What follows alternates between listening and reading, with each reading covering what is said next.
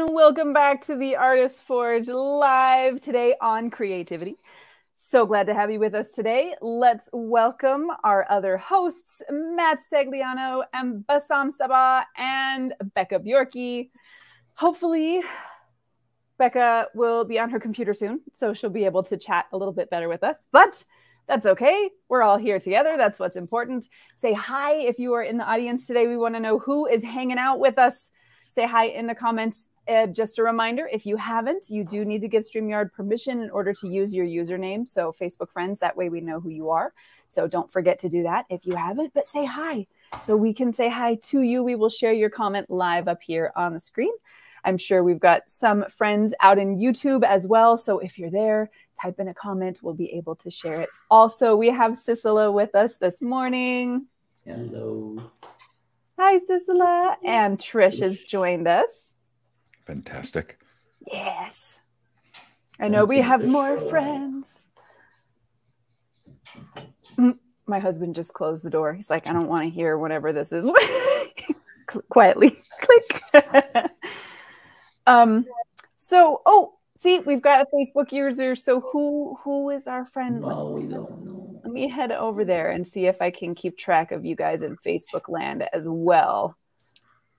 Write another message with your name in it, please. Was let's see. I don't know who it is. Got to keep track of you guys. All right. So um, while we're waiting for friends to say hi and let us know that they're here, I have really loved our discussions this week so far because we've been talking about things. Oh, it's Jacqueline. Hello, Jacqueline. Hello. There we go. Um, we've been talking about things like where you get your ideas from and how you develop them. And then, of course, today we talked about creativity, which is one of my favorite subjects.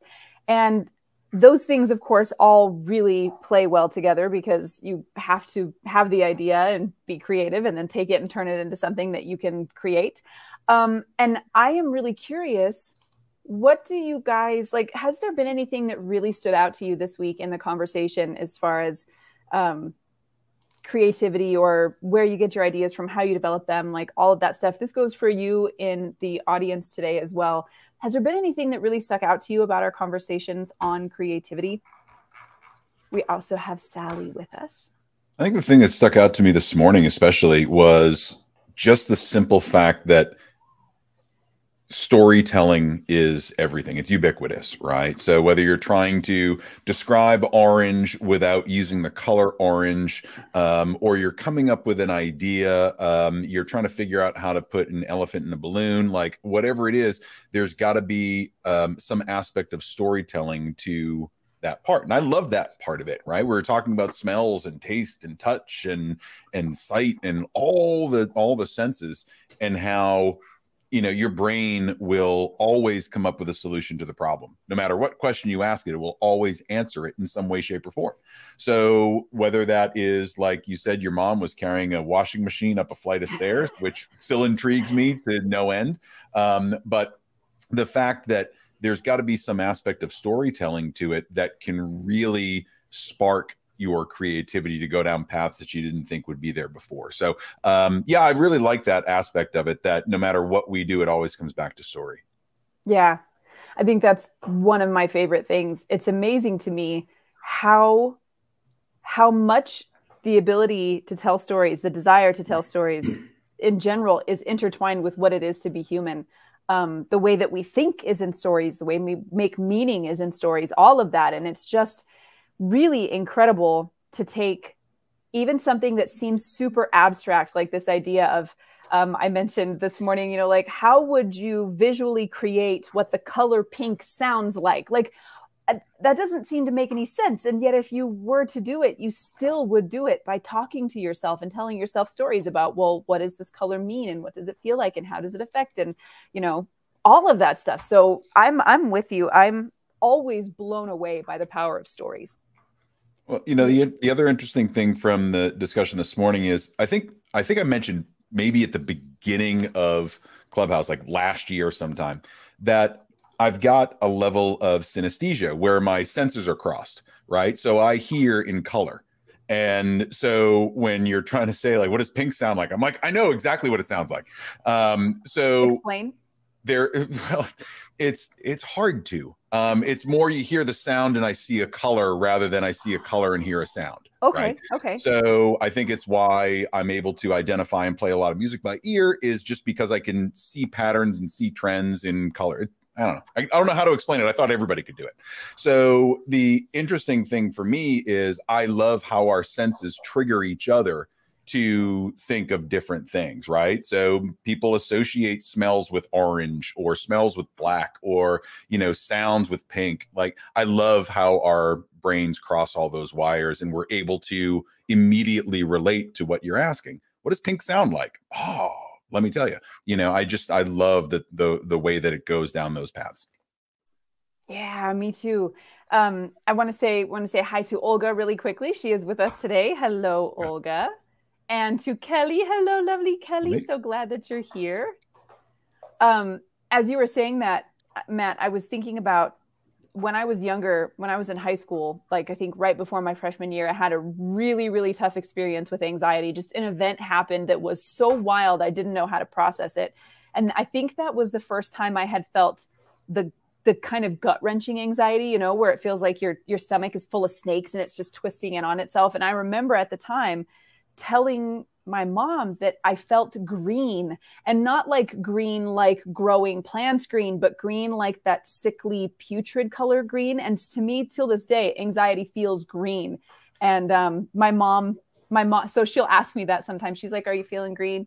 And that's, you know, for some reason, it makes perfect sense in my head. And you're right. The way that we the way that we experience things is is not singly you know? There's a, a, smell and a taste and something that you can correlate for some reason in your mind. And i think being able to explore really cool concepts that way just forces you to think in a, in ways that you never would have before. Kelly says that pink definitely smells like cotton candy.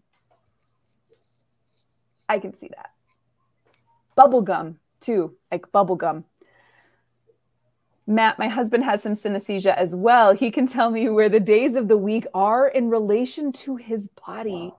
not in an order that's logical to me, of course. That is so crazy. Man, I thought I was getting to know Matt. Now I have to rethink a few things. Yeah, well, you should rethink a lot of things, Bassam. yeah. oh, Cicilla says pink smells like beach roses. Paint drips and bubbles. Paint drips. I like it. Yeah. So, uh, so I had I uh, I really enjoyed today's also, and you know we talked about the intention and we talked about the audience. I think that's an important part. Like when you consider the audience you're targeting with your with your image or your painting or whatever, it, it can make all the difference. But one thing that I'm still thinking about since this morning, uh, when we started talking about what uh, I don't know what you called it, the compositionally what it would mean, or yeah, or, yeah, and then we talked about uh, you know what does that color represent or what does it evoke right in terms of emotions? I have a small pdf uh, or a pdf that i use with my clients for personal branding and i do have a page on color right that talks about you know basically what to wear and what you know what does your color what does a color represent? And i went back and i looked at orange right? And here's the the the different things that it represents right? So it says optimism independence adventure creativity fun enthusiasm and product productivity, right? So that's, I didn't invent those, that's I looked those up.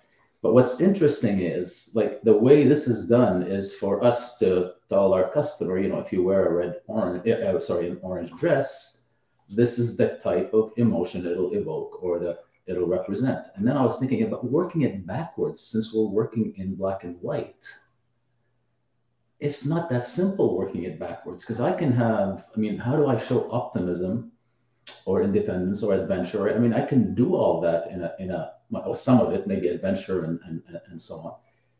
But how would people interpret it as being orange and not black or red or blue? Or because it, it doesn't mean anything backwards unless you actually know this theory inside and out. So I'm still sorry, I'm kind of upside down on this. Like, how would I represent optimism to bring out orange in the viewer's mind in a black and white image, as an example? That's kind of a third level of complexity. right? Or any of those. So yeah, I'm still uh, I, I I was screwed up all day because of that. I'm sorry, Bassam. That's okay. Um, no, it is. It it really does. It forces you to to reconsider not only the way that you think, but what you're actually trying to do. Because if you weren't here for our talk this morning, I asked everybody if you had to photograph the color orange without using any color, like if you had to photograph in black and white, how would you communicate the color orange? And we talked about the fact that um, Matt mentioned luminosity, like maybe putting several objects together that have different luminosities so that orange, which is kind of a mid tone, depending on, you know, if it's lighter or darker, but so that really stood out. People talked about using different objects that are orange. So, you know, um, oranges and pumpkins and fall leaves and all of these different things, putting those together to try to communicate. We talked about writing the color orange on the wall and taking a photograph of that. We talked about things like sunsets and um, even then getting obviously as Bassam just mentioned really into like well what does the color orange mean is energy and optimism and liveliness and all of this stuff and warmth and so how would you take those ideas and then photograph those ideas um, that are related to orange to try to communicate and I think Bassam with your question just now it's really interesting I don't know that you have to make the color orange appear in somebody's mind to communicate the deepness of what orange is. And I know that that sounds completely stupid, but but when you think about a word like love, right? There's many different kinds and different ways that love can feel. You're never going to get the whole of love across by showing a picture of a couple kissing. You're never going to get the whole of love across by showing a mom holding her baby. It's expands far beyond that. And I think something like orange is way bigger too than just the light bouncing off of that particular pigment. It's the way we react to it and the way it makes us feel and the things that we see and our relation to it in the environment and all of this stuff. So I don't think we even have to necessarily say the color needs to appear in somebody's mind to still communicate orange, if that makes any sense at all. Uh, well, it, it, does make sense, and I, I, didn't really intend to say that the color has to appear in the person's mind. But right, the whole purpose right. of the exercise today was to represent orange, either the color orange or orange. So, how do you bring out orange, whether it's the color itself or the feeling? But by by showing confidence in a photo. I mean, what is the link between the two? There, there is no link. If you succeed at showing one of those emotions or bringing out that emotion in, a, in an image, I can associate it with blue as much as I can with orange. I can associate it with yellow or pink or, or, or so, so, so making a direct link is not obvious versus having an orange in the picture or, or, or showing a sunset or. Sure. But I, I wonder then if the importance is the success of communicating to the viewer or the success of communicating your feelings about it to the viewer. Like, if i'm if i don't get paid unless somebody walks away thinking orange okay then that maybe is one thing but if my goal is to use that creative exercise to force myself to think about well how can i communicate this in a complex way or how can i make these connections how can i help somebody else feel what orange feels like to me yeah. even if they don't quite get where i'm going they don't necessarily have to does that? I'm, I'm not. I know I'm not going to make any sense with this. Well, the only reason it doesn't make sense to me. I mean, I see what you're saying. I totally get it. The only reason it doesn't make sense to me, because to me it was it was a it was an exercise. Right. Please communicate. How would you communicate orange in an image that's black and white? Right. And all I'm saying is when you when you use objects, it's a lot easier than when you display an emotion. Sure. Because the link is not obvious. So I would right. I would not succeed in in that in that in that exercise or in that. Uh, because I couldn't communicate it to you unless I titled it "How I See Orange," mm-hmm. right? But you're right. If, if I want to show emotion, and I felt like it's it shows, you know, to me, it's it's how I display orange. The, the viewer doesn't have to has, have to see the orange as long as they see the emotion. But it defeats the purpose of this exercise. I don't know if that makes sense. Yeah, I guess it depends on how um what we feel the purpose is, I suppose. Um, Anyways, and- let's um, let's not keep going with this, but no, it's good. It's good to talk about. Um, I want to grab a couple comments as well. this Facebook user said, I love this. I'm working on a personal project involving goodness. Quick survey. What color is goodness to you? She's been asking, or he, I'm sorry. I can't I can't tell who this is by just the Facebook name. But thanks. By the way, I've been asking this for about a month. The results surprise me. So what color is goodness? Well, wouldn't it be amazing if I had the word goodness on my little PDF? I'll check. Light blue.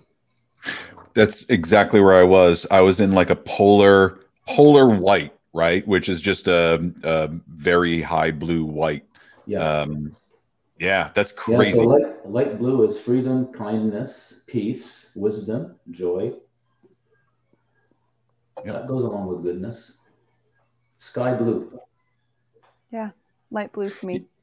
You know, there's there's a guy on TikTok that I follow. He's like color dot nerd or something to that effect. Color, look up color nerd. And all he does is color theory. That's it. And he'll go through everything and how it relates and um, you know, through beginner level stuff to really complex where I'm looking at I'm like, why do you think about color like this? It doesn't make any sense whatsoever. So like if you're really into color theory, I know there's a lot of people here that really do it, and it's such a science that I'm completely ignorant on. Um, but when I've started to learn about true color theory. It's fascinating. So the emotional stuff, I'm like, yeah, yeah, yeah, emotion's like one aspect of it, but like it's just so deep and so amazing. So when I see someone like Kelly or Kate or Olga that have this masterful control of color, it fascinates me. I just don't know how to do it because I'm like uh, orange, blue, green, you know, and it's just I'm like you're either happy or sad. I just I'm I'm fascinated by this whole thing. I could talk about color forever, but I think we've wandered off of creativity, haven't we? Maybe just a little bit. Um, let's grab a couple comments real quick. Dennis is with us today. Hello, Dennis. Hey, Dennis. Kelly saying orange is my least favorite color. It's not my favorite. Right there with you. Yeah. I don't like it. Uh, Michael saying, once we put something out, isn't it now up to the viewer to interpret it as they want? Like many songs, Deftones, for instance, their songs can be interpreted many different ways. And this is true. And we're actually, I mean, you know, when we go to use our visual literacy skills after we kind of chat a little bit and see some of the amazing images that y'all submitted, we'll be able to see. Um, and much of it depends on how we define success as the creative, right? So that's something that we can talk about as well when we get there. Yes, blue. Goodness is sky blue. Yeah, it's light. It's light and airy, and I think that's why they use. Um, I think that's why they use blue in Mary's. Um, in like the the Christian iconography of the Virgin Mary. There's a lot of like blue in her in her headdress and stuff. I think that's why they do that. Olga saying pale yellow. Hmm, like maybe goldish. Light blues, fair pinks. You're not alone. The last I read, the colors that are favored the least are orange and brown. I really like, I actually think I like brown better than orange in general. Mm. Sage green, white, light blue for the win. A green as well, a light green. Huh? I tend, yeah. that's so interesting. Yeah, so light green, light green is growth, harmony, fertility, kindness, compassion, and acceptance.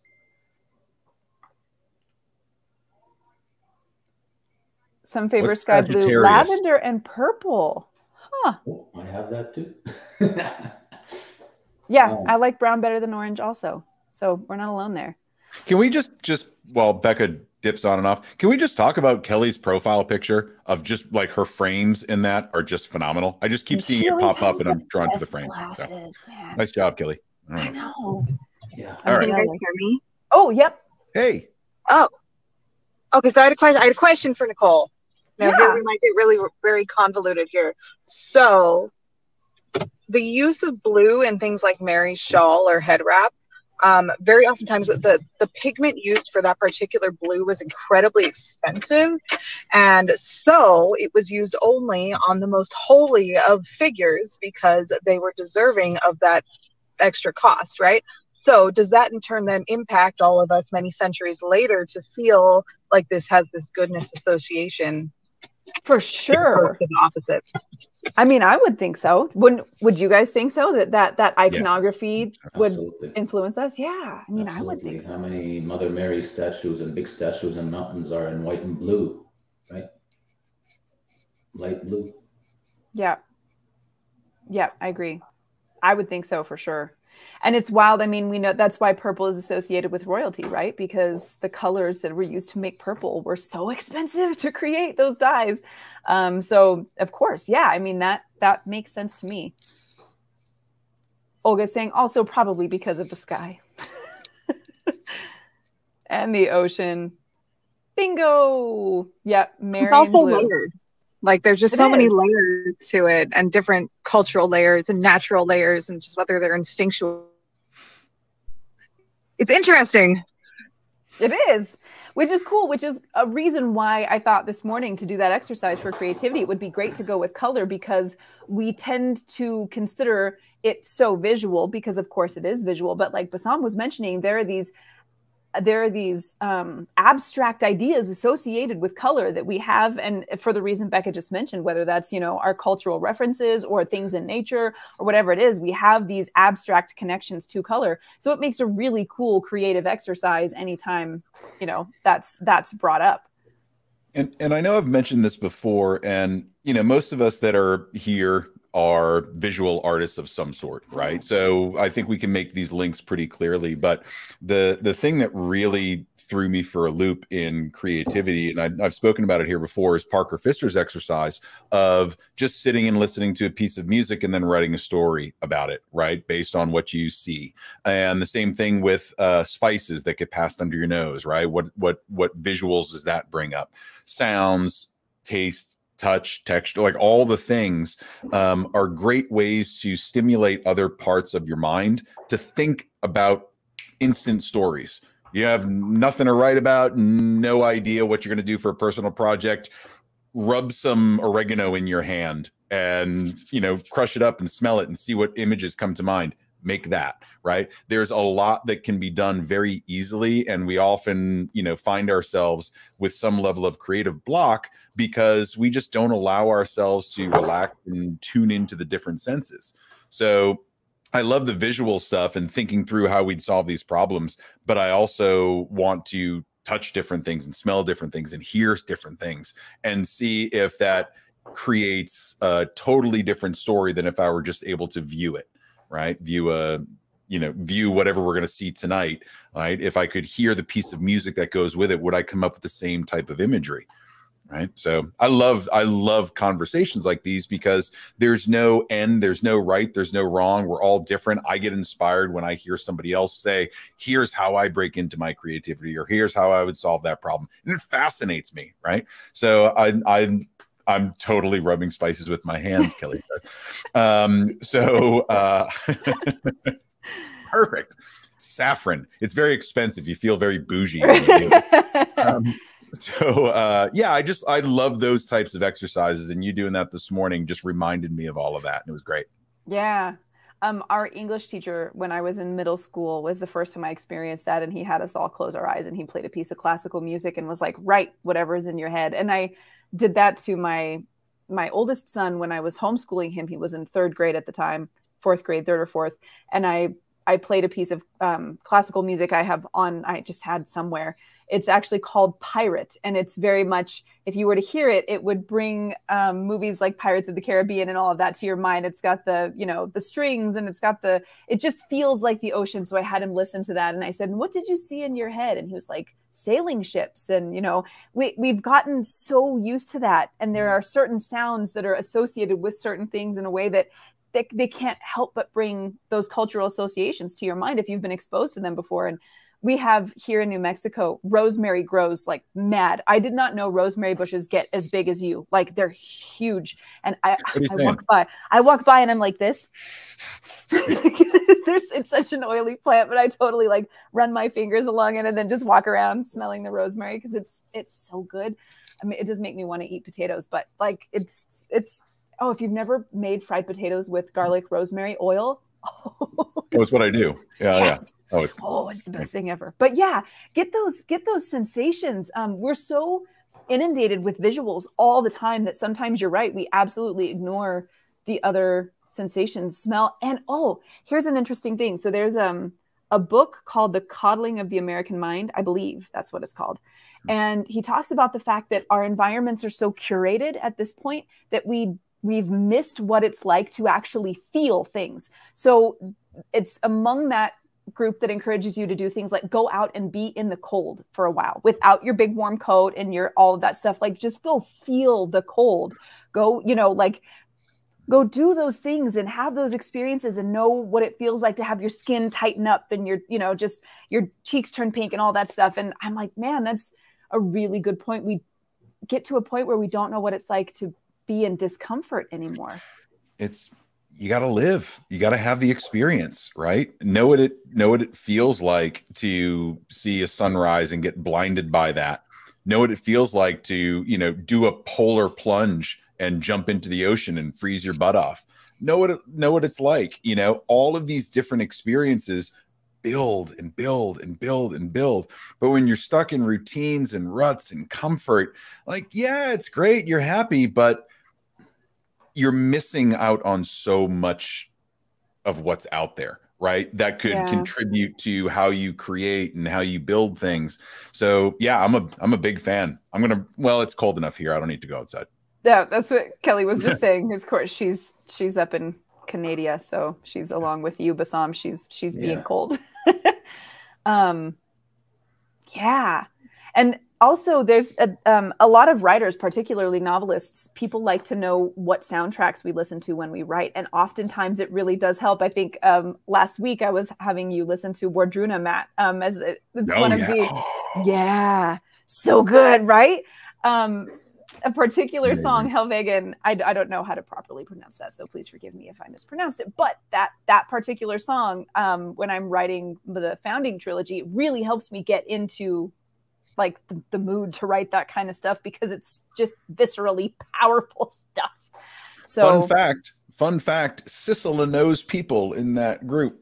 Oh, so nice. We've, we've had that conversation. So we're basically, you know, we all know them now. We're just connected yeah. to it. So six, what, six degrees of separation? Is that what it is? Something to that effect. Moving yeah. on.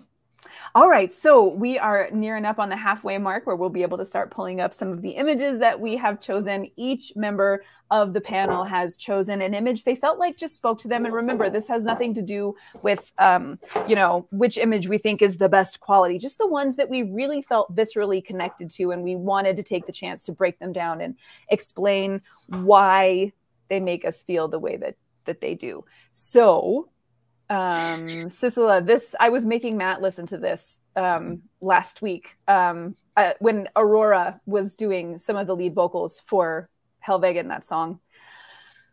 Love it so much. I immediately threw on fur and grew braids. It was crazy. It just happened in an afternoon. I know you all you want to go out and like fight Jotuns mm-hmm. and you know do things. Anyway, okay, so we all went through some of the incredible images using the color red as our March challenge. So, all of the images that were submitted this month had the color red as a theme somehow, whether it was a tiny bit or a whole bunch, um, however you felt like you wanted to explore that. And so, each of the members chose ones that they felt inspired by. And we're going to do the same thing we do at every live. We're going to show the images one at a time, take a moment to really take the image in, think about how it makes us feel don't try to analyze it or critique it. Just let it make you feel something. And then once we have a good idea of how that makes us feel, then we're going to start using our visual literacy skills to try and figure out why. Why does the composition contribute to the way you feel? How is the color working? What is the facial expression saying? All of that stuff. Is there rhythm? Is there, you know, weight to certain parts of the image?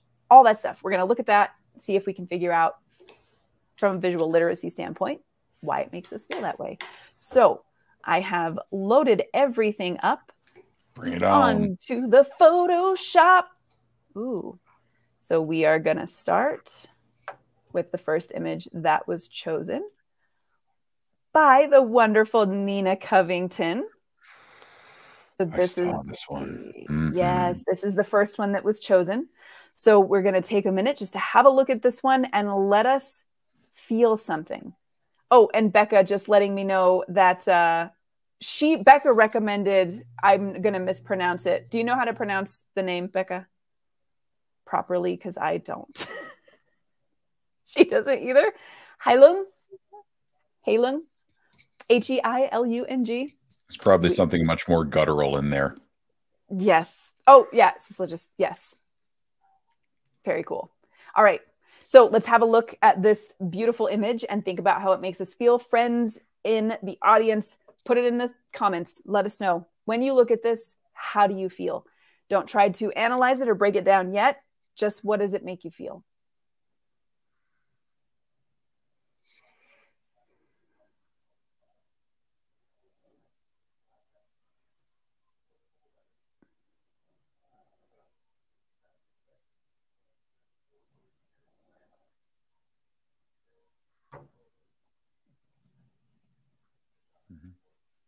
Yep, I'm good. Bassam is good. Matt is good. Becca, let us know when you have a almost there. All right. Yeah. So our friends in the audience are saying powerful, Rah! curious, a reckoning, fearlessness and power, urgency, intensity.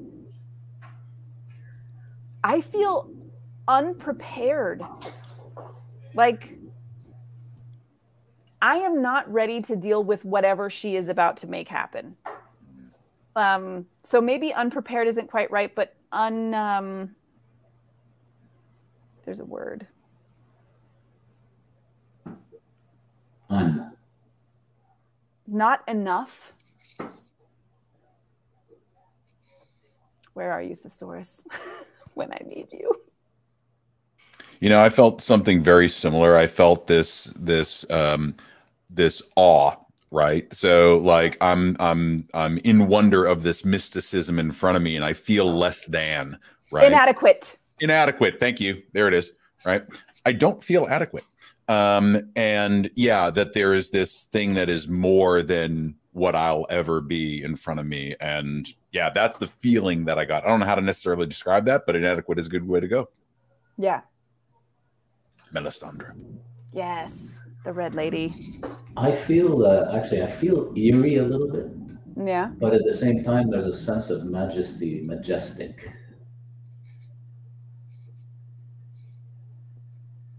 So I'm, I'm trying to. I also need a thesaurus for this, and I've had a similar feeling from several of the images. But like I'm in the in the presence of power, in the presence of also majesty. Um, I very much feel like uh, uh, I, I don't know how to. I don't know the word I want. Um, Inadequate. inadequate's not quite it, and It's- small is not quite it. But Something that's Very related to numinous, right? yeah, Well, I if an- also- if an image forces us to look up thesauruses, it's quite impactful, isn't it? For sure. I feel Challenge. orange. I Orange. feel orange. No, there's a there's a mysticism here, right? There's a um I feel Intimidated, Olga says. in, intimidated. Another great word. that's a good one. That's closer. yeah. Like a phoenix, like there's an awakening. Love that. Confident. So we've all shared a little bit about how this image just makes us feel.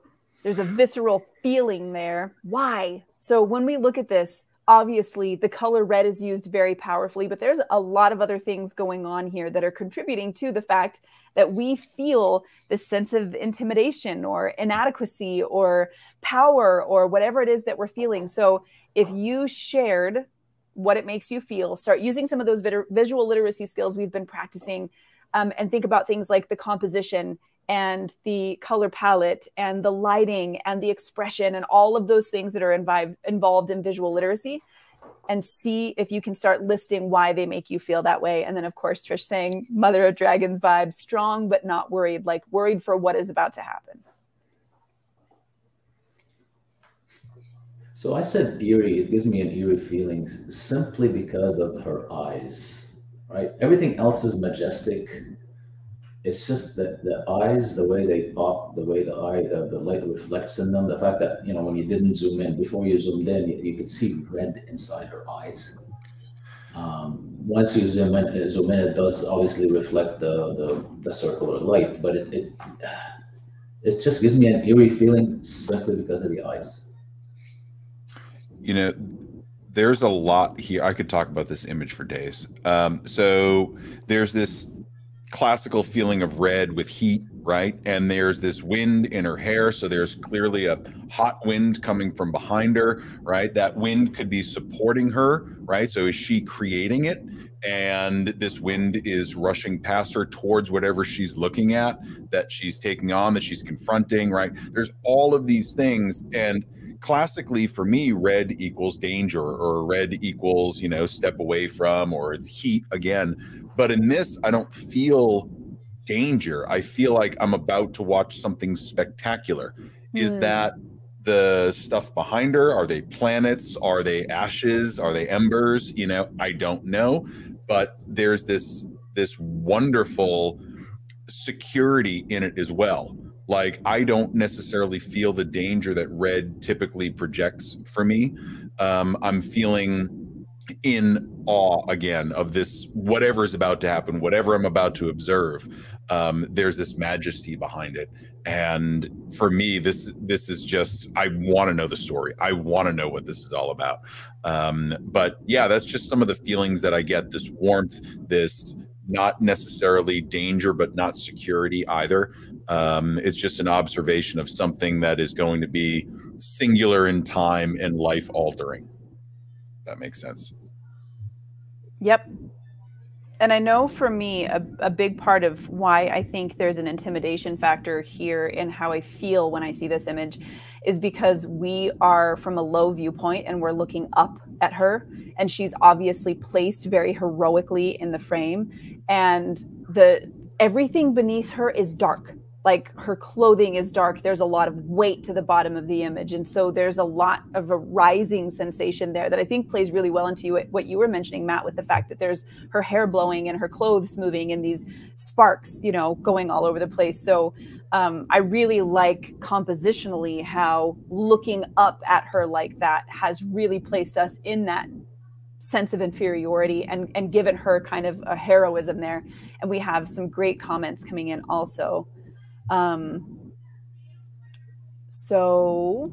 And that's what Platon does really well, right? Too, he shoots up yeah. angle and makes people feel intimidating or powerful, right? It's just yes. it's the thing that we're used to seeing. Yeah. Yes, yeah. So it seems to me she has her eyes set on something that gives her hope, which I think is in that she's got that almost she's looking at the horizon, right? Like her eyes are not focused close to her a way out of her situation. She's stoic. Being centered puts the focus on her, but her glance out of frame makes me wonder what's coming and how prepared she is. Mm-hmm. And yeah, there's a calmness in her face about that. Like I would think, I, I feel like she can handle whatever it is, right?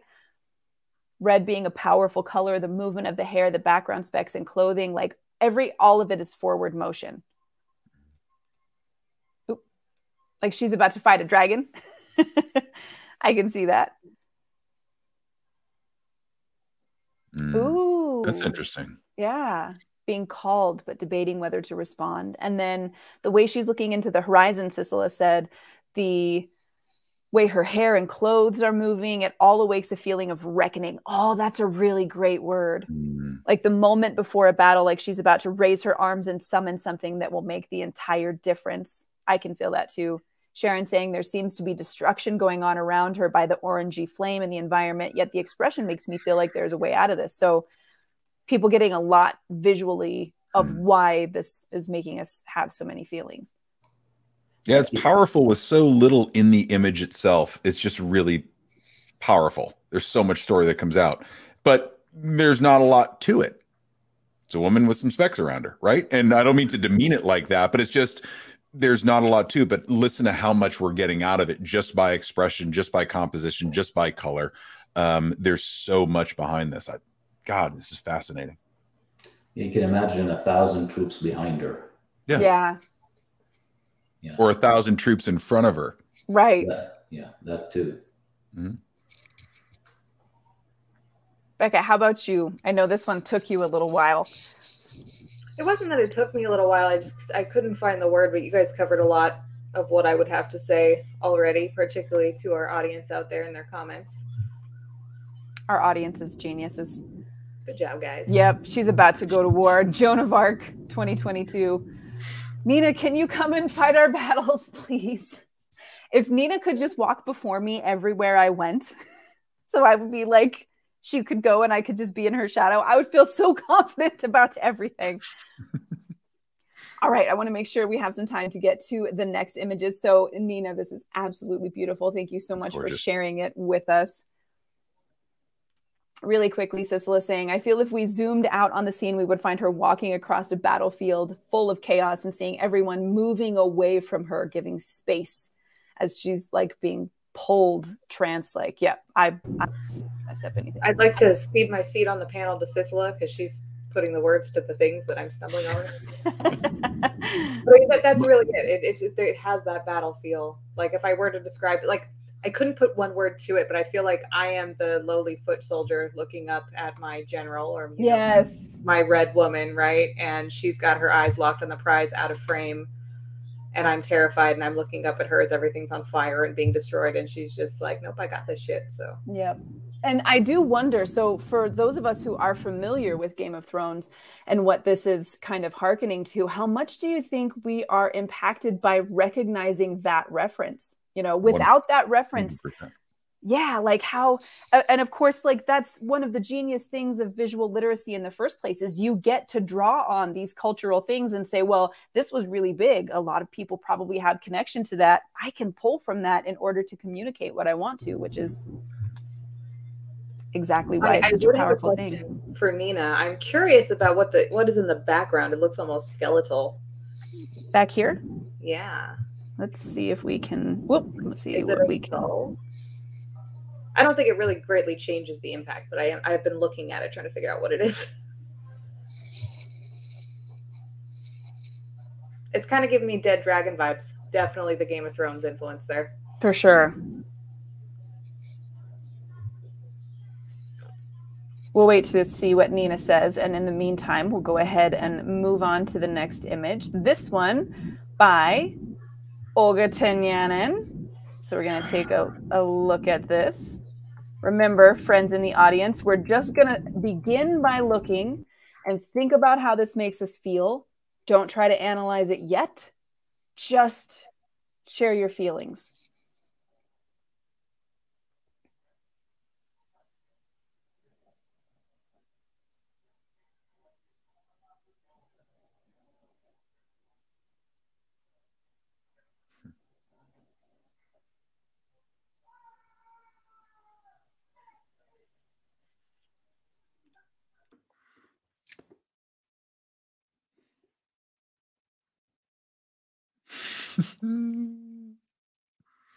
Go ahead if you got it. It's giving me desperation. While I feel like I should be scared, I feel a sense of sympathy and empathy. I feel for the subject and the whatever pain that they're in. Like I just feel this sim- this sympathy for for them. I I feel I do feel the horror. I mean, if this was a movie, I I wouldn't watch this movie. Let's put it that way. yeah, I love the image. I just wouldn't watch the movie. Yeah.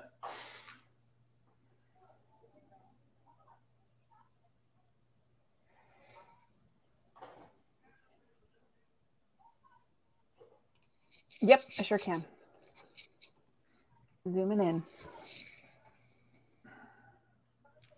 Remember, I'm, I'm, these are downloaded from Facebook, so they aren't always as high quality as I, you know, we could really make things out. But and I'll just plug here. If you go into the Facebook group and you look at this entire series, you'll be amazed. But, Absolutely. Yeah, this this image in particular struck me. Trish saying creepy, Kelly saying possession. And Nina, we won't be watching movies together because I don't like horror movies. Nina would love to watch would watch that movie. Yeah, I feel when I look at this, I have this sense of growing horror. Like mm. I feel like she is about to do something I'm gonna wish she wouldn't have done. I mean, it took me not a long time, but I, I was wondering, is is that her hand or somebody else's hand? I mean, it's obviously her hand. Yeah. Well, hers. Yeah, It her is hand. no, it is her hand. But my first look at it, it's as if like, what is she looking at? Somebody's hand sticking out of a rock. Oh, sure.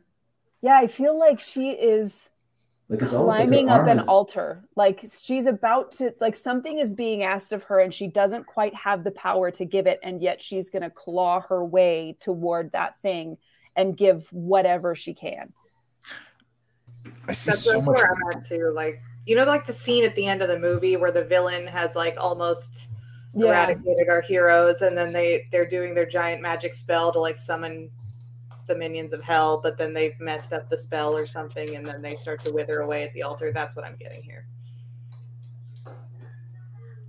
I just see Oh. so much pain. There's just so much. I, I just keep coming back to that. Like this poor creature, you know. I I feel this this sense of sympathy and and for whatever pain she's in. You know, I don't necessarily feel a danger or an evil or anything like that. Just kind of like, oh, this sucks. Oh, I definitely, I have a sense of foreboding. Like, Hmm. like she is not she has been lied to. She is doing something she should not be doing. Um and i think so let's let's start using some of these visual literacies now that we've had a look.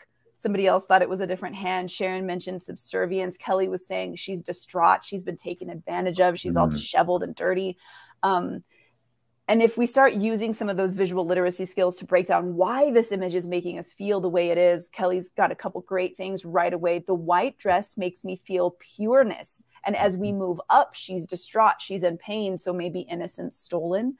And I, I was right there, Kelly. I was thinking that white dress immediately makes me think of virgin sacrifices, right? Or like there's a, a purity that must be sacrificed in order for whatever is about to happen to happen. And that sense of red, of course hearkening to blood and then you know the black that's around her eyes makes me think she's been part of some kind of ceremony um, because of course now she's crawling up this altar as well. So i think there's a lot of really cool ways that you could interpret something like this even um, from the fact that this is a woman. There is a a real there is a real sense of when you're moving into womanhood i mean the, the first thing that makes you a woman is the shedding of blood right so there's there's something in there that's ceremonial also so it kind of makes me feel like that Can we talk Nicole? about this though? Oh, I'm sorry, Matt. Go ahead. I was going to say, can you zoom in? I don't know if it's an infinity stone or a bird skeleton or I don't know what that is. It's rocks. Okay. Got it. Yeah. Couldn't tell what that was. It's yeah. I mean, I, I, you know, what's the significance of that? It's relatively benign compared to the expression on her face, or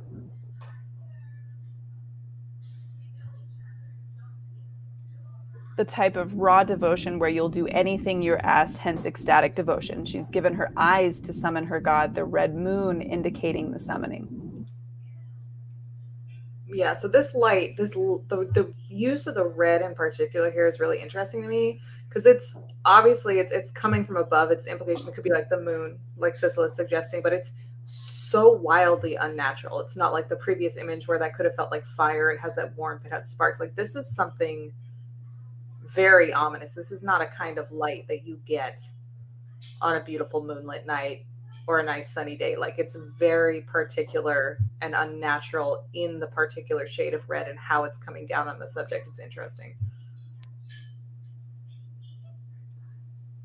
yeah agreed and then of course there's there's other visual literacy things happening here as well i mean she's on the ground right and so that by itself is symbolic of a whole bunch of things whether it is weakness or subservience or desperation like there's several different things that crawling across the ground relates to and then even her body language there it, i mean if you look at the shape of her hand there's there's desperation in that and there's a bentness to everything. There isn't a lovely pretty flow. It's very much strained. Um and I love the I love the use of shadow here, right? Where you've got this bright red light, but most of her face and body is in is in this shadow. So um I love the the juxtaposition of that where everything else seems to be bright but her face is dark um, and that just adds to this ominous feel of pain and destruction and all of that, like vengeance to come, whatever it might be. Um, but I love the the not only the shadow on her face, but the use of the shadows in the forest or the cave or whatever it is behind um, that separates out this foreground from the background. I really love the depth of this right? You really feel like you're up close and that there's this vastness that's behind her. I just i don't know. It, it yeah, struck I, me I when totally i agree and, I, and I, I i appreciate the depth but also the color that greenish there's a little hint of green there. It just it just beautiful color tones yeah. Yeah.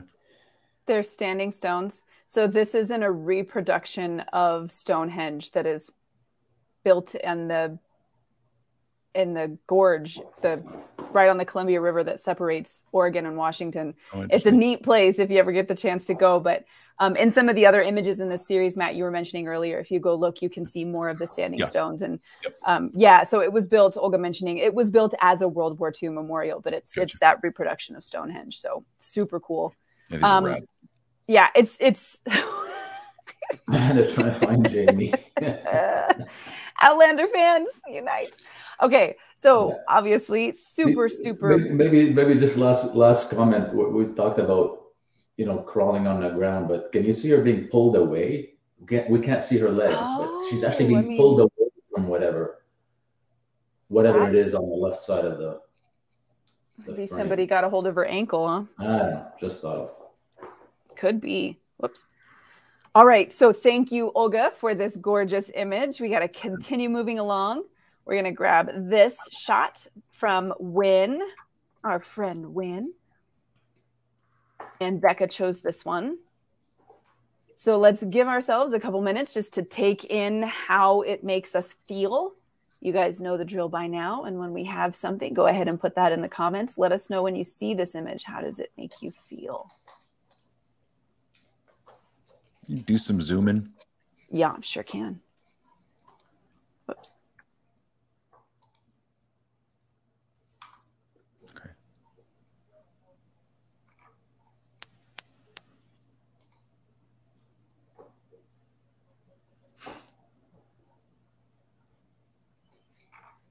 This is dope.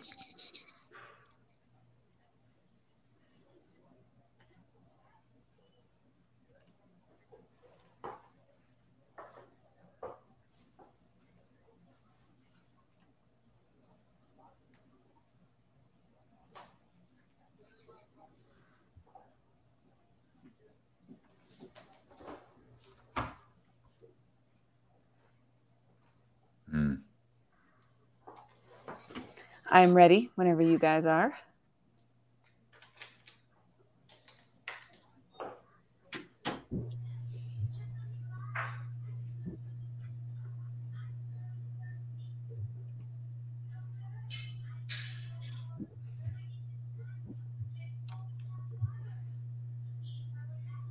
So, what do you think?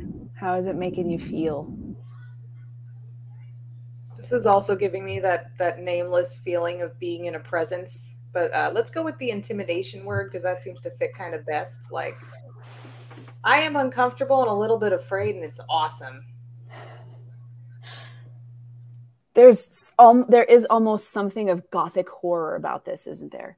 Like, there's a a richness and a lusciousness and a and uh, Nina said the great word decadence. There's a decadence to it, but at the same time also a danger I mean, I, I love that they included thorns in this dress because mm-hmm. there's it's something American horror story and gothic horror about it that just makes me feel like I don't even know the right word to. It, there's also the cultish feeling around it. I don't know the triangle of the roses. It looks like a candelabra. Like a, like a cult, like a cult figure, even. Mm. Olga saying living in a gilded cage. Kelly saying it actually makes me feel sad. She's gorgeous on the outside, but she's been hurt and won't let others in. The, there were two things that I felt immediately. One was all love is pain, mm. and which I was that's a that's a whole different therapy session.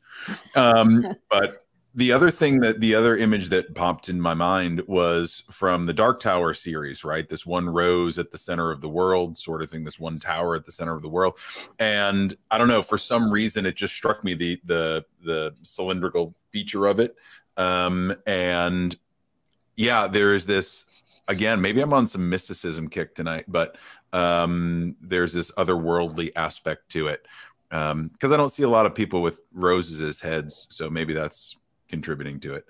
Um, I love this image so much.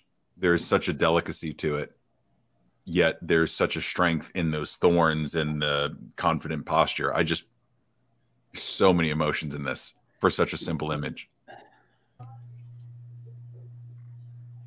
There's a comment down there that I like. Did we get to it yet? No. I'm heading towards. Oh wait. Oh wait. Down. Be our no guest. holding back. I know. I mentioned a candelabra. Now she's got Lumiere. Tom that said one. an offering. That. An offering, Becca. A little bit like. It's not really like Alice in Wonderland, Red Queen, but I feel like I am being invited or against my will mm. or offered something. That's the cultish feeling I got. Yeah. Yeah. You know what's throwing me off? What's making me feel that way? It's the actual vignette that's kind of ruining it for me. Because if you take away that vignette and just keep the bright red across the whole image, I would feel more like Matt, Matt feels about it. Mm. But for some reason, just having that kind of weird looking vignette. Um, I think the the vignettes, yeah, the vignette's a little strong, but I think it's needed to to to bring you in to the subject, right? Um, I, I, yeah, I'm with Matt there. Like, it doesn't really feel like an ordinary photograph. Like, it almost has this like mixed media kind of feel to it. Like, it could yeah. be collage or even partially painted. Or I feel like this is a tarot card that if somebody gave yeah. me, it take something from me, right? Like yeah. they give ah, it to me, shit, the voodoo that. guy got me. Like that's what's gonna happen. Hangman again. That's what's gonna happen. Of course, it could be as simple as somebody auditioning for the Masked Singer. it's just there's it's overripe. Everything about it is overripe, right? Like it's the the overripe lushness that is will kill you. I mean, you you're gonna go embrace her and get the shit poked out of you with those thorns. Like I just so let's start pulling some of these visual literacy skills out. Um, obviously, we have the figure and a gorgeous dress of a beautiful woman. We have these roses, which are symbols of beauty, love, and romance. We're using the color red, which is the color of passion and power and love and romance. But we also have these thorns. We have roses where they shouldn't be, the size that they shouldn't be. So, like symbolically, there's a lot happening. Um, and the positioning and then the treatment of the image also very much is um, objectifying and not in like not in the way of like here's an object for my desire but meaning that this is an object and not just a person this is mm. something beyond it's it's almost moving into like iconoclastic territory right like whether it was intentional or not um, and I assume it's intentional because Win is extraordinarily thoughtful. Um, but the use of the glitter and the white that really stands out, that brings you to certain parts of the image, right? You're focused on this glitter around the head, but you're also drawn to little specks at the bottom of the dress or on the arm or right over the heart right? So I'm wondering if those were used to draw you into certain places to observe other details or if they were just kind of like, oh yeah, there's some glitter and she, you know, works nights. Um, like, but there was a lot here. I just kept coming back to those bright spots and wondering why they were there because they're random and they could easily not be in the image and it would still be incredibly powerful but I like the use of it to break it up. It gives it this certain um uh I don't delicacy is not the word extravagant maybe mm. is the word that I mm. was looking for. Like sure. it up levels it a little bit. Um, so yeah, I just I wanted to see those a little bit more closely. Thank you. Yeah, for sure. So Siri here has an observation that I actually wanted to mention too. What's your observation? Sarah Wolverine Nancy has no eyes. She has no eyes, which makes that makes it so much creepier, right? It's not even just that the eyes are in shadow or something. It's this literal removal of the human face. And it's so uncomfortable and it's used really well here. I mean, something you can use in all sorts of creative ways when disconnecting, you know, from your audience. And I really like how it's used here with replacing the entire head. It's fascinating. And it pleases a five year old. So, you know, cool.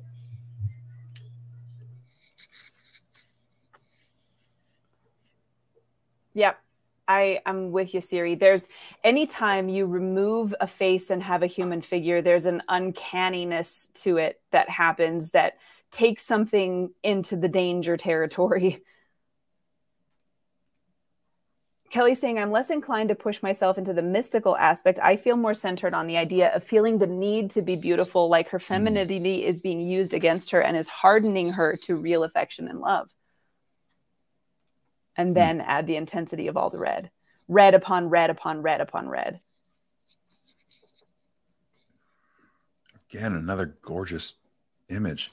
I know, I know, and I I wish we could stay with much of them for longer, but we got to get through some more. So, Win, that was incredible. Thank you so much for sharing it with us. This image by Paul Martin. It's bananas. Chance to have a look at this shot. So remember, we just want to feel first. So have a look at this. Let it impact you.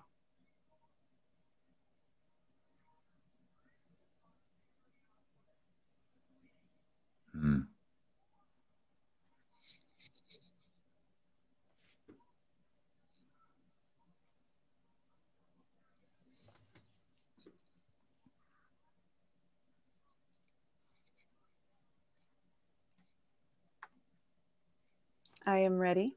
Speaking of feeling inadequate when you look at an image, like, good Lord, this is gorgeous. I'm ready to. I'm zooming, guys. I'm zooming. Getting a little bit closer here.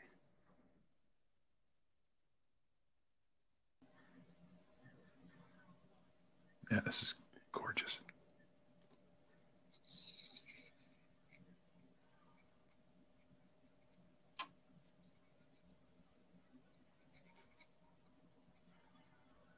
I feel loss and isolation. Alone and exposed. Siri's got something. How do you feel, Siri? I actually like that there's like feathers on the flag. On like the back. It does look like feathers. Loss was my word too. I like that there's feathers too, Siri. Like so we've got that it's powerful. Letting go of hurt, Kelly says. I feel strength and protection, actually. Mm. Interesting. Yeah, I, I definitely have a sense of loss.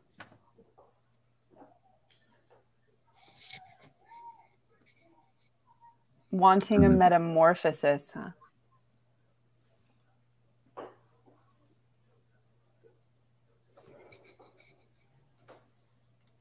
Kelvin saying alone or lonely. Braving the storm, finding strength. Mm.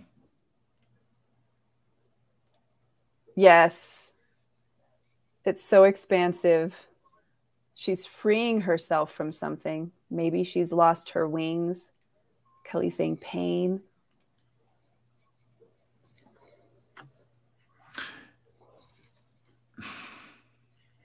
Nina maybe feeling a little bit like Bassam, like maybe she's bringing the storm.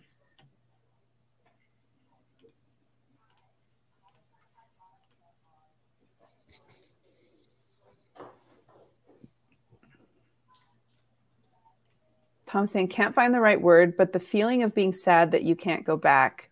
Mm-hmm. Yeah, so a kind of melancholy almost, huh? I'm only using the term kung fu from now on. You know, it's the it's the body position that really throws me on this, right? So the the red is so striking against all the the blues and browns and neutrals, but the body position, it's interesting how I'm interpreting it versus how other people are interpreting it. And I think that's the fascinating part of this. Um, so I love seeing how people are pulling up, you know, strength or bringing in that power. And immediately I'm thinking that collapsed figure is shielding herself or in pain or you know there's a sense of loss or something there so i don't know if it's the expression on her face or the body position but it could also be the moment before she explodes into something magnificent so it's a it's a wonderful body position to be in especially teetering on the edge because the story can go in so many different directions um, i find this fascinating I think you just touched on one of the really important things. So, of course, now we're obviously getting into um, these aspects of visual literacy and why this image is making us feel that way. But there's a few things that are happening here. And I think you touched on an important one, Matt. If you notice, she is right on the edge of this dune. She is between, literally standing at the edge of earth and sky, of sunlight and shadow. And she is in the shadow. So you know, the mountain back here is picking up some sun. The other dunes where they go into the grasslands are starting to pick up some sun. She is in the shadow. She is beneath storm clouds. Her body posture is inherently self-protective. If if your stomach hurts, if you've been hurt, if you've if you've been emotionally hurt, this is what you do. You protect your vulnerable parts. You protect your heart, you protect your stomach, you hunch in on yourself. Also the wind is coming from behind her her hair is blowing across her face. She's almost being swallowed up by her dress. So, all of those particular things are definitely for me why this feels so much. I think, you know, Sharon has has got some of it there with the idea that of regret, right? Um, and and Tom of kind of that feeling of wishing that you could go back, but also being at the precipice of something. This maybe this is her day in her days in the desert, right? Like we know that this is what you go through before you come out the other side. It's kind of that Moses in the desert thing. Siri has a thought over there. What is your thought, Siri? I actually have something to say about the sky. Okay. It's actually like it's starting to storm. It is. Gray cloud. You are right. It is like it's starting to storm. So we we got a comment earlier about the isolation and my my first you know first impression was was that loss and it it kind of feels like heartbreak to me mm-hmm. you know bringing in that red and that just being dolled up and beautiful but in pain and alone into somewhere that looks dangerous and miserable and it doesn't have anything to offer you but you're going anyway you see, the, the, landscape i think is very impactful here like this would not feel the same in, in a, a forest yeah mm-hmm. You see, for, for all the same reasons that you're seeing, you're seeing what you're you, what you've described. That's where the, I see it all as strength. I mean, this this image has so much. When you really look at it, there's a lot of movement in it, yet it seems frozen in time. There's nothing that's going to push her off that ledge, right? Sure. She yeah, is there. She's going to protect whatever she wants to. She needs to protect in that position and she is in a position of strength. I cannot see her falling off that. That's that's what I see when I see that that picture. Yes, you can interpret it many different ways, but I'm just saying why I see strength there. The way she's, you know, the protective, you know, she's the way she's holding her arms, you know, that's protecting something, right? Uh, we don't know if she's protecting her baby in there. I don't know. Uh, there's there's just enough enough dress there's enough fabric there that there could be somebody, something or somebody in there. Yeah, there could be a whole person in that fabric. Hey, no, we're gonna mute. sorry. Yeah. Don't be sorry. I love it. Yeah, but I love the color palette and, and especially especially the the saturation level on the red, the way it blending up. It's it's if it was if it was too saturated, it just would not be the same image. I mean, yeah, it blends, it blends really really well with that background. Agreed. There's a the the lines of the dunes and the mountain give me this sense of falling downhill, right? And I think that's really why with her on the edge, there's this down angle of everything with her curved back. And it just feels like there's this movement to sweep her off the edge, which is where I felt that. To, to Bassam's point, she could very well be leaning into that and pushing against that exact force. But it's just that's the feeling that I got like, oh shit, she's about to go. You know, so um it's those lines that really brought me into it. Well, I think So, that question. yeah. Oh, sorry, I'm juggling my life. Um, so question, Matt, on that because I'm I'm with Bassam too, where I do feel like she's she's moving forward. I don't feel like she's gonna fall back, Mm. and I wonder if the position in the frame here is really kind of pushing that. Like she's coming more towards the viewer versus if she were to teeter off the edge, would that be implied more strongly? Say if we saw her from behind Well- and got that sense of of you know distance or something that she would actually fall because i feel like she is moving forward whatever painful awful thing or stormy sky she's running from but she's still going And for for me, it's the opposite. I see her center of gravity as behind her, right, and she's leaning forward, trying not to go back. Um, and it's just it's thinking what the the body does. But I totally see she could very well be leaning into the wind, be but the wind is coming a different direction. It's blowing her dress forward. She seems to be leaning back. It's just the center of gravity thing that's that's kind of throwing me off. Um, but I'm sure that if we were to look from a different direction, it might tell a completely different story. You're right. Yeah, I think, and I can see what you're saying, Bassam. So I definitely feel a lot of pain and loneliness in this image, but the fact that she hasn't fallen, right? Like she's still standing, and certainly there's strength in that.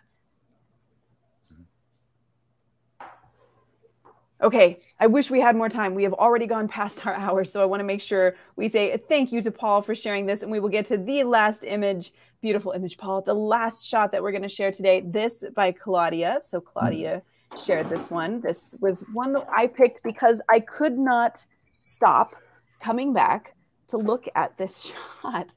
Um, so let's take a moment, let it make us feel something, and then we'll share our feelings.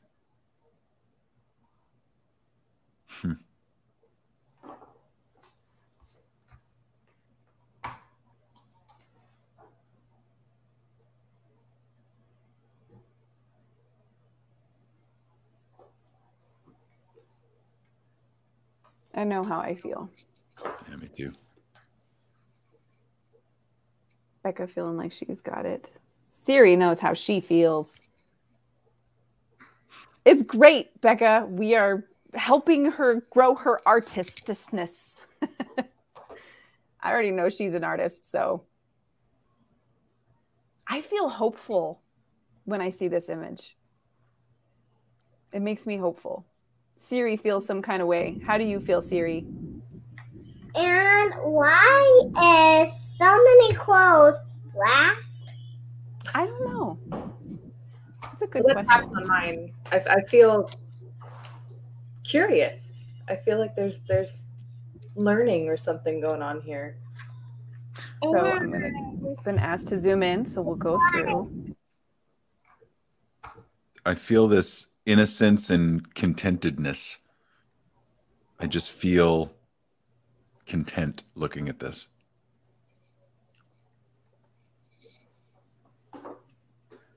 There's also a sense of isolation. Mhm.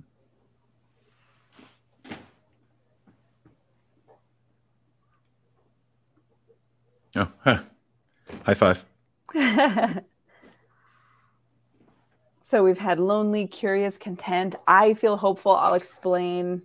I'll explain later why it makes me feel that way.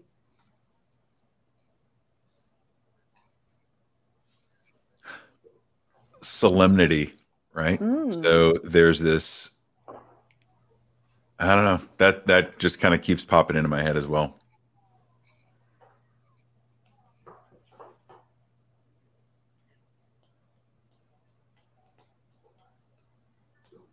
I know that there's a mm-hmm. lot of things happening in mm-hmm. this image from just a visual standpoint that I'm excited to get into because it just sparks so many of my my interested wonder and eagerness, Yeah. quiet, content, lost in her own world. Kelly's saying magical.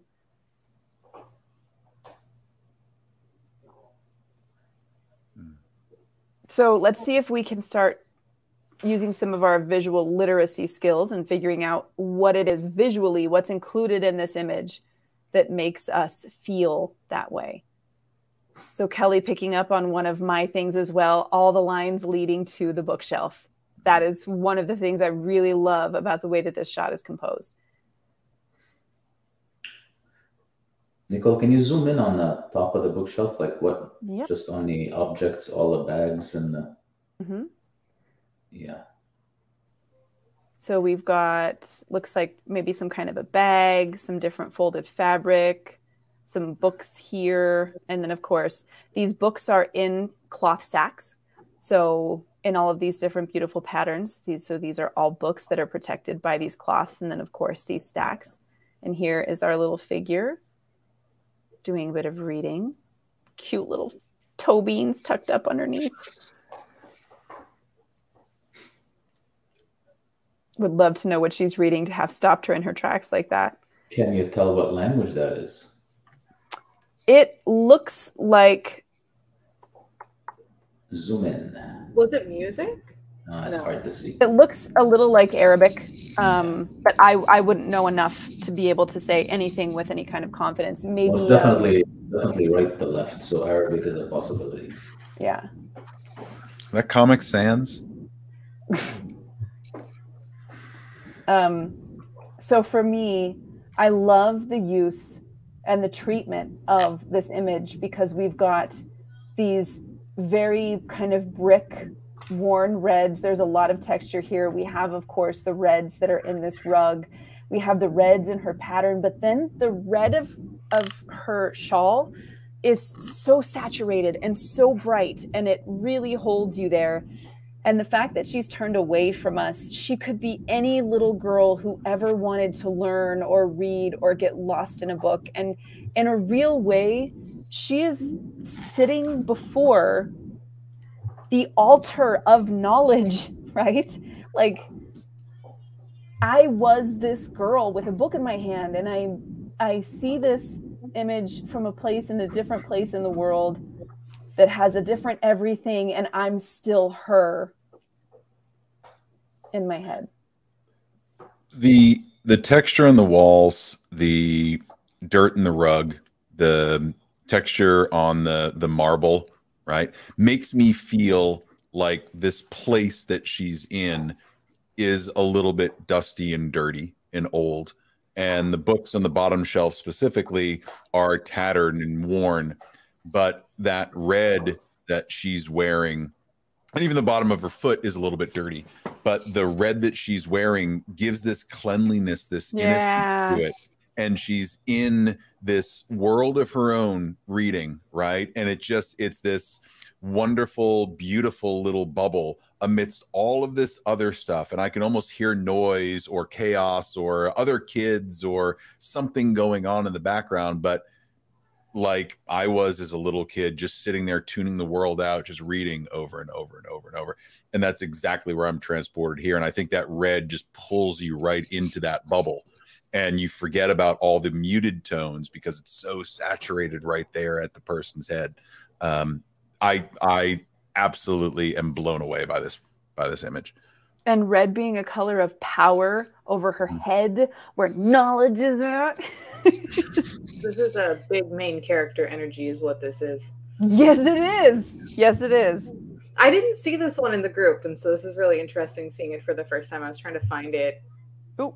just now in the It's all group. right, guys. too. Um, one thing that's interesting also that kind of lends itself to that narrative is the fact that we're seeing a door frame, like we're seeing a hallway or something. There's there's more in this space. It's not just a bookshelf in a room. There's there's Right. something bigger Well, I mean, I, I, I see it as a school and the, the other, like, where are the other girls?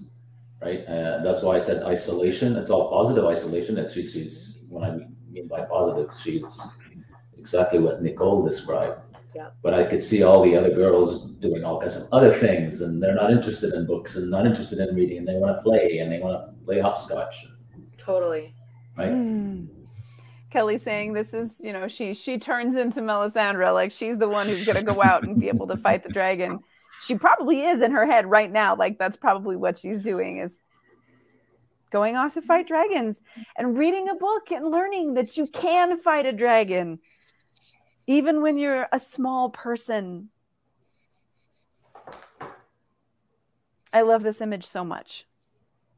For the patterns, for the lines, for the placement of the girl within the image, for the color, the way the color red is used there, for the way that she's kneeling in front of this bookshelf and reading. There just is so much I love about this. And and I love you mentioned Matt the fact that you know she's in a location that I mean she's surrounded by marble and and some kind of really something that you feel like could be a really beautiful place. Um Mhm. and and here she is with her dirty little feet in front of a book and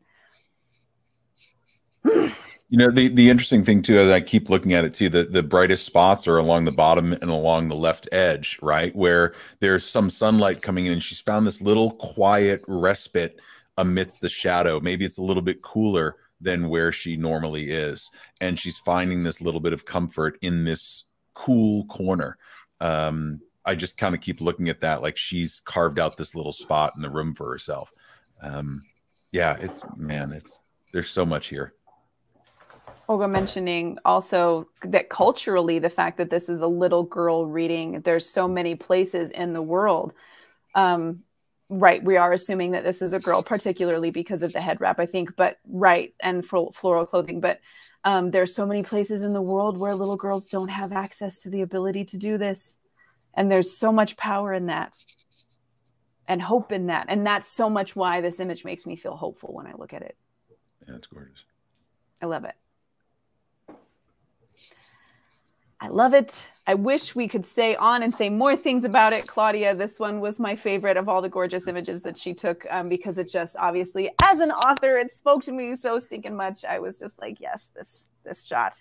Um, let me go ahead and stop the screen share here.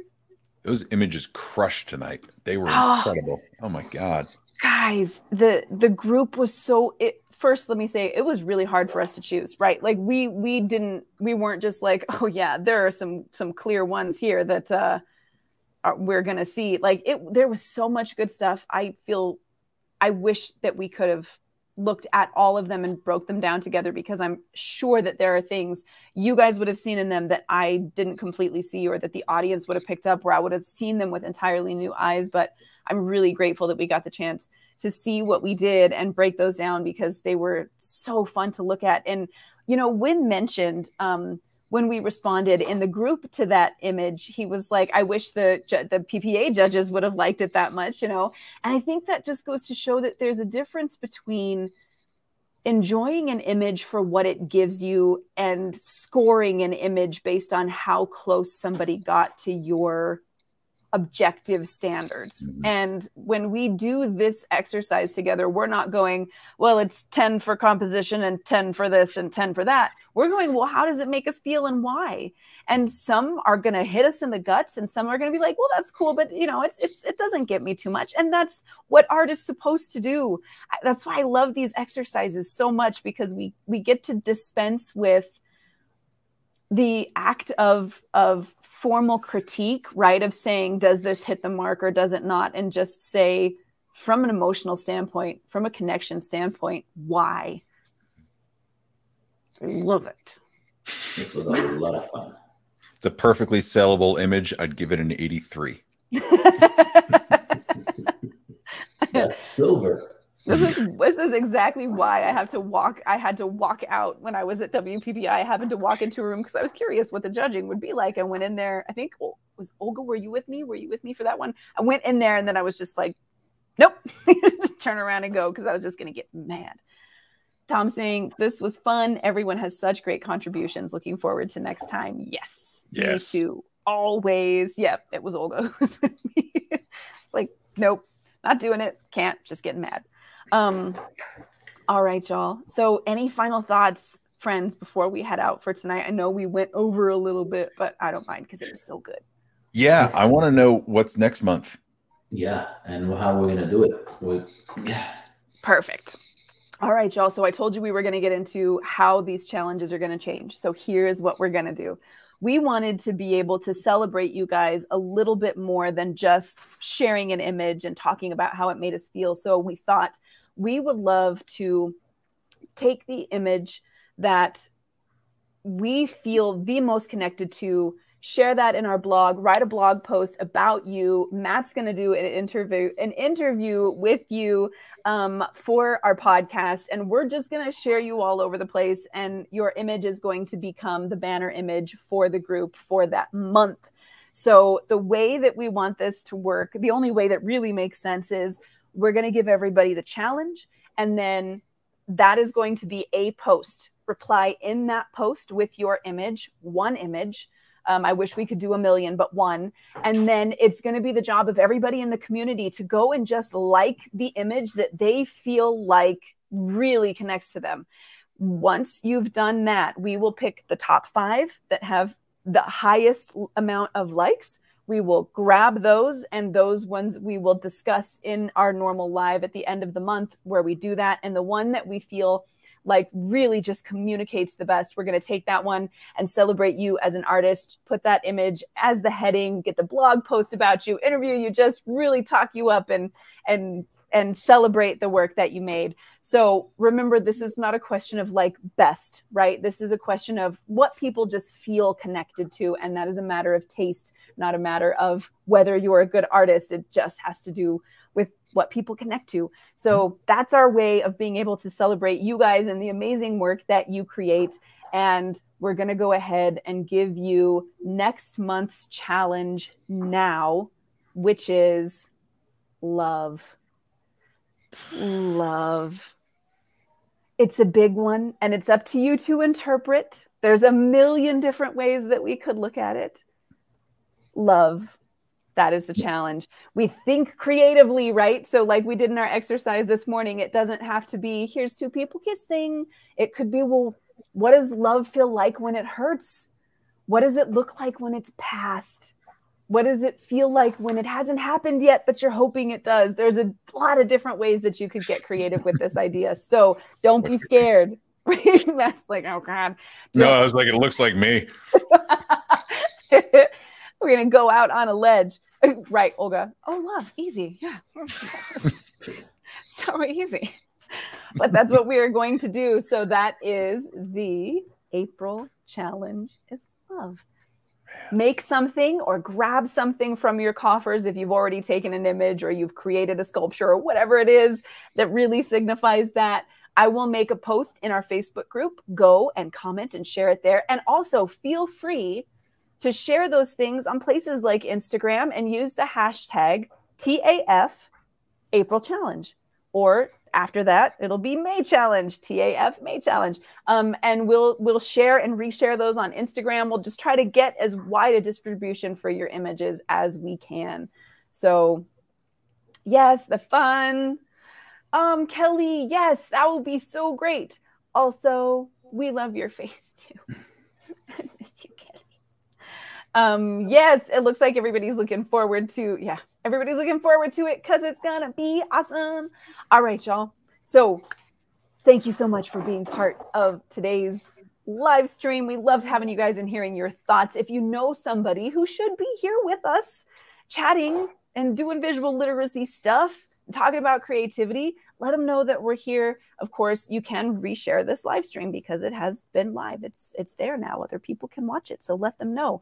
Also, don't forget go make an image or a painting or a sculpture or whatever it is that you do with love. Take a picture of it, post it, um, tell everybody, tell everybody, and then be with us tomorrow morning for the last live pod. Well, call it live podcast, but for the last live show of the week tomorrow morning at 7 a.m. Mountain Standard Time, 6 a.m. for the West Coast, and 9 a.m. for the East Coast. Or you can always catch the podcast as they post on theartistforge.com or head to our clubhouse club, The Artist Forge, and find the replays there. You can listen to them there also.